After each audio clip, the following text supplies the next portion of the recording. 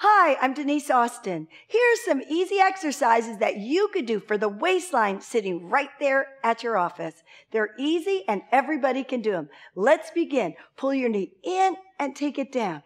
In and take it down. You're pulling through the abdominals, sucking in the gut, pulling the navel to the spine, and using your abdominals to pull it up. This is a great ab exercise that actually gets the lower tummy too. Sit up nice and tall. Pull it. Feel your tummy contracting. Engage the abs. Okay, let's take it to the next level. Give this one a try. Pull it in and out and in and out. This one's a little more advanced, but give it a try because it really works the whole tummy, the front of your abs, the rectus abdominis muscle.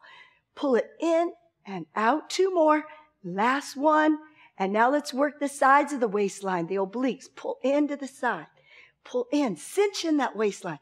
Pull in. So there's easy things that you could do to target tone that tummy. We all need to work on that waistline, right? That's the area we all have problems because we're sitting too much and not getting enough aerobic exercise. So these are easy, simple things that you could do to just help that waistline. Turn to the other side and pull in and out. That's it. Really pull. Feel it. You should cinch in the waistline. Pull in and out. If you just do a few of these, they really help you. Last one. Okay. And release. Now let's rotate the waistline. That's another area of the body you should work on through the rotation. Simple ways to keep the circulation going through the spine.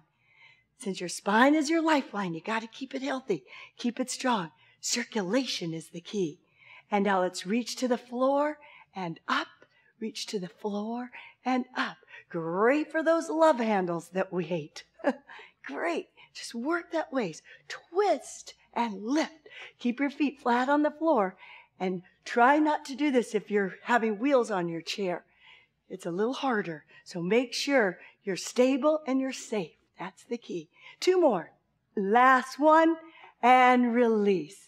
Now, for those of you that really want to challenge yourself, give this one a try. Hold your knees up, hold it up, hold it up. You could do it, you could do it. Come on, come on, come on. My good old friend Jack LaLanne used to do this, and he's strong. Okay, and release. Take a nice deep breath and exhale. Enjoy your day by toning and slimming right there at your office.